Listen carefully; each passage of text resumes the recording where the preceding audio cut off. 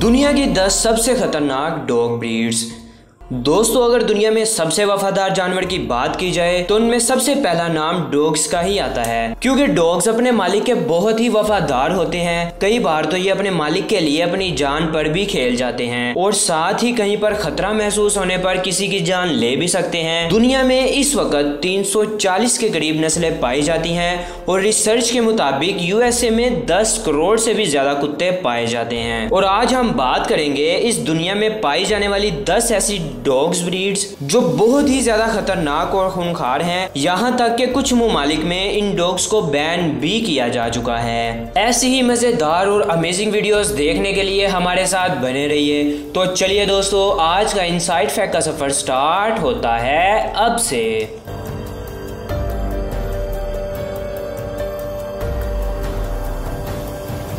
Number ten चाऊ चाऊ।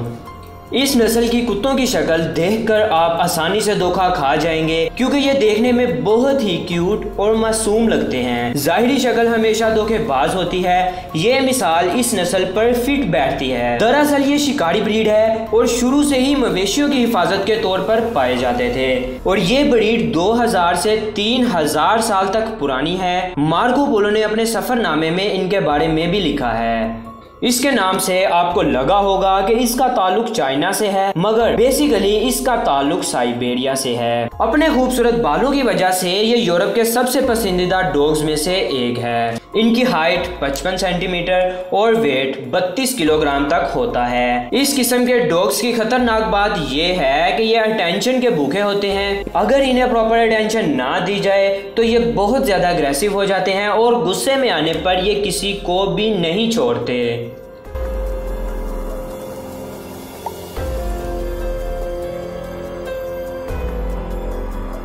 Number nine Siberian husky जैसा कि आपको इसके नाम से ही पता चल गया होगा कि इस ब्रीड का ताल्लुक साइबेरिया से है। इस नस्ल के बारे में मशहूर बात यह है कि ये पैदा ही दौड़ने के लिए होते हैं। ये कुत्ते बहुत ही खतरनाक होने के साथ साथ बहुत ही अक्लमंद होते हैं। ये स्लश डॉग के नाम से भी जाने जाते हैं। ये बिना पहिए वाली गाड़ी को बर्फीले इलाके में खींचने के काम आते हैं। इस ब्रीड के कुत्तों की खास बात यह है कि ये बहुत ही कम खुराक पर और बहुत ही कम दर्जा हरारत वाले इलाके में ज़िंदा रह सकते हैं। इनकी ज़्यादातर आँखें नीली होती हैं। दूसरी जंग अजीम में इन कुत्तों को यूएस आर्मी के जवानों के लिए अदवायात, खतूत और दीगर दूसरी चीज़ें पहुँचाने के लिए यूज़ किया जाता था। इस डॉग ब्रीड का ताल्लुक भेड़ियों की एक नस्ल से है और कहीं ना कहीं इनमें भेड़ियों जैसी खसूसियात भी पाई जाती है। गुस्से में आने पर ये भेड़ियों की तरह खतरनाक हो जाते हैं।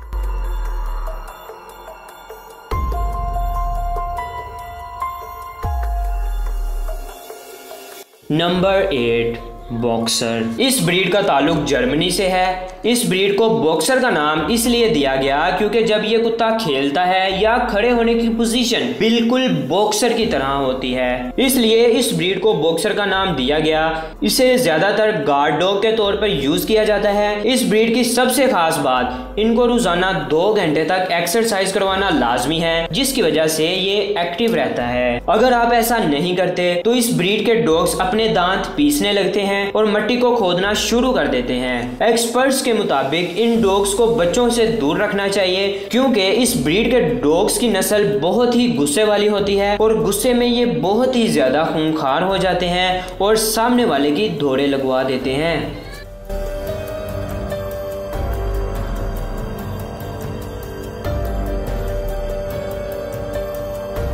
Number seven wolf hybrid.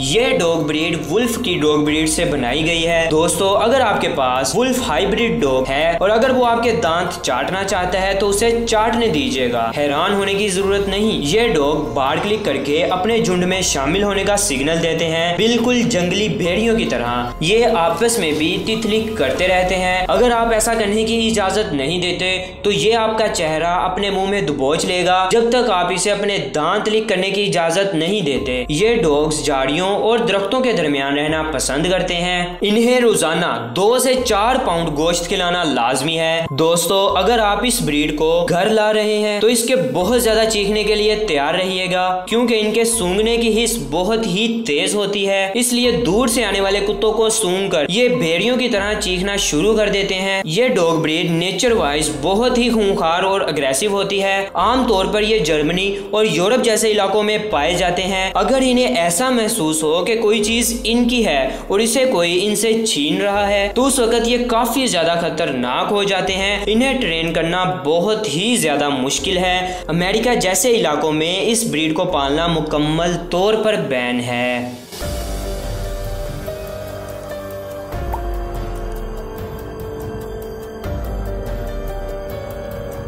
Number six bull mastiff इस ब्रीड का ताल्लुक इंग्लैंड से है। इसे गार्ड डॉग के तौर पर ब्रीड करवाया गया था। ये ब्रीड मास्टिफ और बुल डॉग्स के क्रॉस से 1860 में बनाई गई थी। इन कुत्तों को लाखों कुत्ते भी कहा जाता है। क्योंकि इनकी ज़िंदगी का मेन मकसद ही लड़ाई करना होता है। अजनबियों के पास आते ही ये कुत्ते बहुत ज़्यादा अग्रेसिव हो जाते हैं और हमला करने के लिए बेचैन हो जाते हैं। ताकतवर होने की वजह से इन्हें संभाल पाना मुश्किल हो जाता है।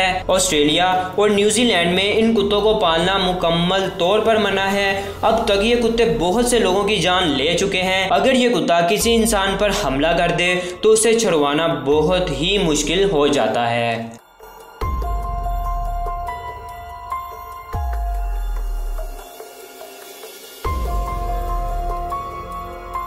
नंबर फाइव, डोबरमैन पिंचर दोस्तों, अगर आप डोबरमैन के आसपास हैं तो आपको अलर्ट हो जाना चाहिए, क्योंकि ये डॉग सिर्फ़ अपने ओनर के ही वफादार होते हैं। किसी दूसरे शख्स से थोड़ा सा भी खतरा महसूस होने पर ये फ़ौरन उस पर हमला कर देते हैं। डोबरमैन को ज़्यादातर आर्मी और पुलिस में यूज़ किया जाता है, क्योंकि इनके सूंघने और समझने की सलाहियत बहुत ही तेज होती है। ये नस्ल दर हकीकत खतरनाक नहीं है, मगर हद से ज़्यादा तेज़ रफ्तार और ताकतवर होने की वजह से अगर ये कभी गुस्से में आ जाए तो अपने मुखालिफ को नहीं छोड़ते। इस वजह से इन्हें बहुत से ममालिक में बैन किया जा चुका है, क्योंकि ये डॉग ब्रीड भी तकरीबन नौ लोगों की जान ले चुकी है।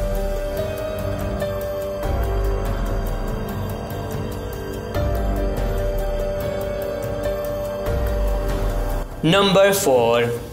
कोकेशियन शेपर्ड ये ब्रीड रशिया और इसके आसपास के ममालिक में पाई जाती है। ये डॉग ब्रीड दुनिया के सबसे बड़े कुत्तों की ब्रीड है। एक कुत्ते की हाइट 28 से 30 इंच तक होती है और इसका वज़न 200 पाउंड तक हो सकता है। इस नस्ल के कुत्तों को बचपन में ट्रेनिंग देना लाजमी होता है, वरना बाद में ये अपने मालिक के लिए भी खतरनाक साबित हो सकते हैं। जिसका अंदाज़ा आप इस बात से लगा सकते हैं कि एक ट्रेन कोकेशियन शेपर्ड डॉग अपने मालिक, उसके घर वालों और उसकी जायदाद को अपनी फैमिली समझता है और हिफाजत करता है। मगर घर में आने वाले किसी भी दोस्त या अजनबी शख्स को देखकर ये गुस्से में आ जाता है और हमला करने लगता है। इसको पालतू बनाने के लिए इसके मालिक का भी ताकतवर और मज़बूत जिस्म का होना लाजमी है। ये कुत्ते शुरू से ही मवेशियों की हिफाजत के लिए पाले जाते थे, जो भेड़ बकरियों को गिद्दर, रीछ और दूसरे जंगली जानवरों से महफूज रखते थे।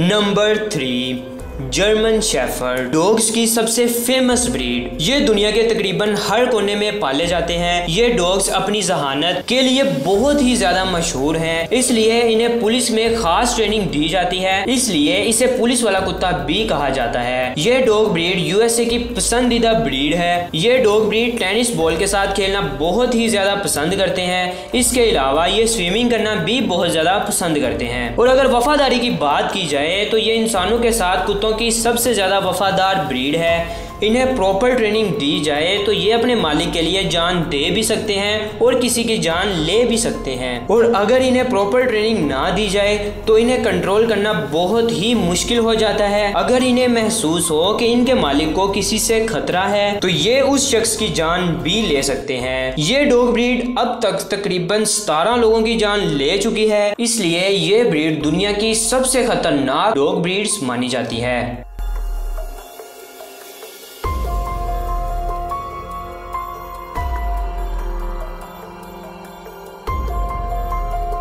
नंबर टू रॉड व्हीलर दोस्तों, अगर इनकी मासूम और भोली भाली सूरत देखकर आप इन्हें अपना फ्रेंड बनाने का सोच रहे हैं तो आप गलती कर रहे हैं ये देखने में जितने मासूम लगते हैं, हकीकत में इससे दस गुना ज़्यादा खतरनाक हैं। पिटबुल के बाद इंसानों की ज़्यादा जाने इसी डॉग ब्रीड ने ली हैं। कुत्तों के ज़रिए इंसानों पर हमले के चौहत्तर परसेंट वाकत दरअसल रोड व्हीलर और पिटबुल के ज़रिए ही हुए हैं 2020 में इसे दुनिया का सबसे खतरनाक कुत्ता भी कहा गया है ये हाइट में छोटे मगर वज़न में बहुत भारी होते हैं। इस डॉग ब्रीड से तकरीबन 55 लोगों की जान जा चुकी है। नेक्स्ट ब्रीड पर जाने से पहले इस वीडियो को लाइक करें शेयर करें और हमारे चैनल इन साइड फैक्ट को सब्सक्राइब करें और साथ वाले बेल आइकन पर क्लिक करके ऑल वाले ऑप्शन पे क्लिक कर दें ताकि हमारे आने वाली वीडियो की नोटिफिकेशन आपको बर वक्त मिलती रहे और आप आने वाले वक्त में भी ऐसी यूनिक इन्फॉर्मेशन से मुस्तफ़ीर हो सके और आपके नॉलेज में इजाफा हो।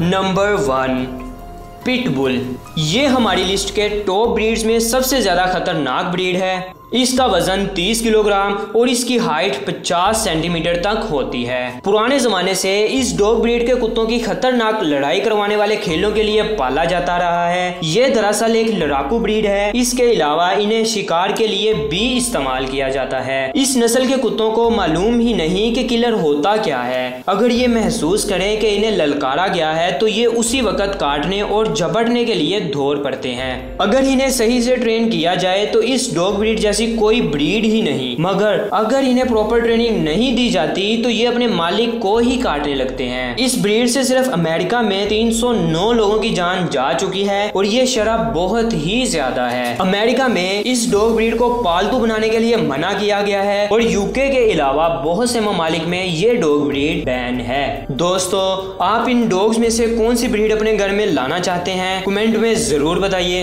इसी के साथ इशफाक अहमद को दें इजाज़त। मिलेंगे मिलेंगे एक नई वीडियो के साथ। अपना बहुत सारा ख्याल रखिएगा। Thanks for watching keep spotting inside facts अल्लाह हाफिज़।